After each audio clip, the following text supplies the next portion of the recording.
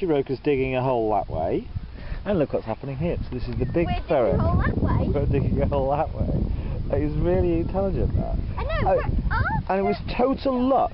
It was to- she must have heard vibrations or something. And they're both doing it now. Let's do it. They're both doing it. Look, look how they look how they done. Look how, look how they've done. They must have heard vibrations or something.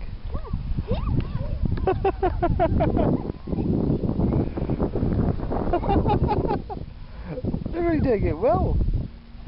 Hey, you two.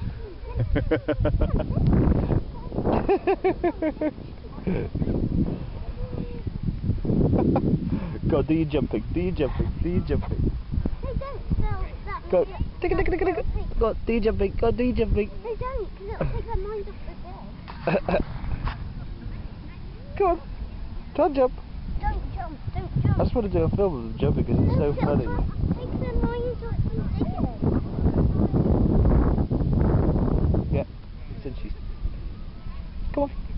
Are they still Digga, digga, digga, digga, digga, digga, digga, digga, digga, digga, digga, digga, digga, digga, digga, digga. A whole bunch of girls are teasing the ferrets.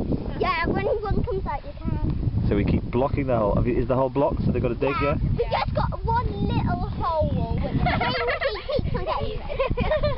that Winky did all the digging. Hello, Winky. Winky, Winky, I got it. It was actually the seventh Winky. I was building a hole here. They probably um. It looks like and this isn't just one because you can see it there. You can see just the end there. You're right, yeah, yeah. There's a chair. Oh no, it doesn't. It doesn't work. Good go. Good go. Alright, no, no, no. this is really long. Yeah, it's the longest ferret in the world. Let me show you come through, mate. Come on Come on. Where do they live at home? Like they live in a cage or what? We did it! Yeah, we've got a big cage for them. Oh, he's coming out, he's coming out. Oh, okay. Coming out. okay, let's try and block him off again.